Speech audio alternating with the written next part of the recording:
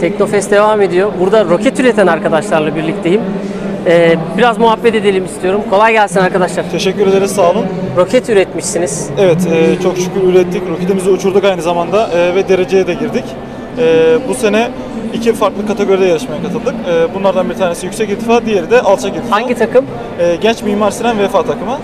Nereden çıktı yani roket üretelim diye böyle birden aklınıza mı geldi yoksa Bu bizim Nasıl oldu? ilk senemiz değil açıkçası. E, daha önce de e, katılmıştık, geçen sene. Ondan önceki sene de katıldık keza. E, lakin o zamanlar dereceye giremedik.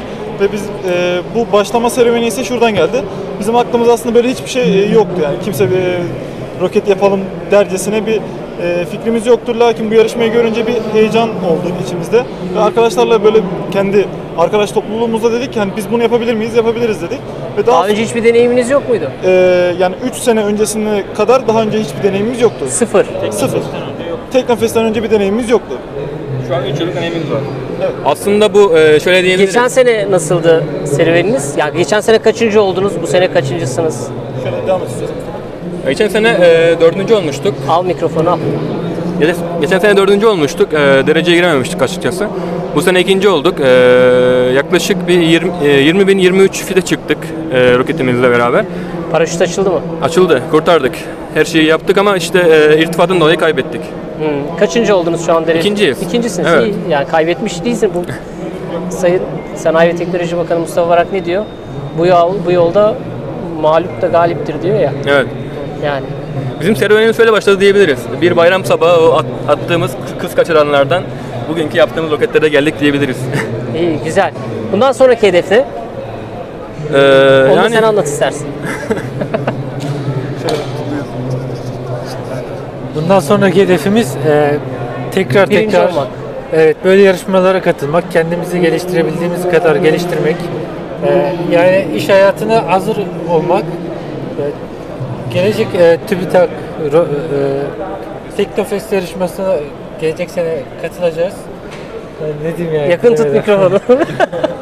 ya, Ya ben- şöyle bir şey soracağım. Ben yüksekte değilim de hani Şöyle bir şey soracağım. Soramadım. Şimdi e, daha önce hiç deneyiminiz yok. Roket yapıyorsunuz ve roket yarışmaları da hani aslında Teknofest'in en heyecanlı yarışma alanlarından bir tanesi.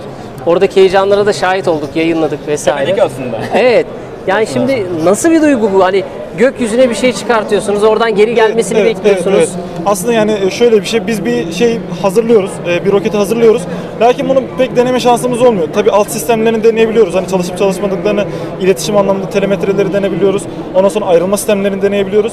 Ama bir roketi ilk defa orada uçurmuş oluyoruz. Yani Hani- bir uçurayım önceden Ee, test edeyim yok, imkanı öyle yok. bir imkanımız yok açıkçası. Ee, bu da bizim için ayrı bir heyecan çünkü hani biz de sonunun ne olacağını kestiremiyoruz. Tabii yaptığımız hesaplamalarla 3 aşağı 5 yukarı belli bir neticemiz e, neticemiz var görebiliyoruz e, simülasyonlardan ama e, o heyecanı ilk defa biz de e, Teknofest'te yarışma alanında e, tatmış oluyoruz. 3 yıl sonra, 5 yıl sonra her şey daha farklı olacak. Buna inanıyoruz. Kesinlikle e, biz de inanıyoruz çünkü bize farklı bir vizyon katıyor açıkçası.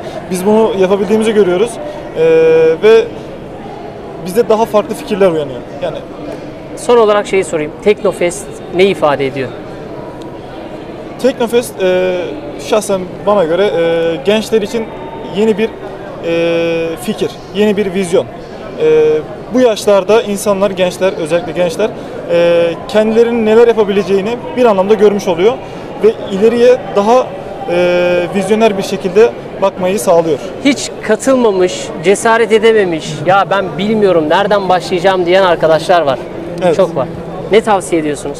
Abi hiç durmasınlar, e, fikirlerini harekete geçirmek için bir an önce e, adım atmaya başlasınlar. Çünkü devamı geliyor. İnşallah. İnşallah. O zaman seneye görüşürüz yine. İnşallah abi. Kendinize iyi Eyvallah. bakın. Evet, burada atmosfer böyle. Genç arkadaşlar görüyorsunuz. Hiçbir şey bilmiyorduk. Sıfırdan başladık diyorlar. Bugün geldikleri yer umut verici.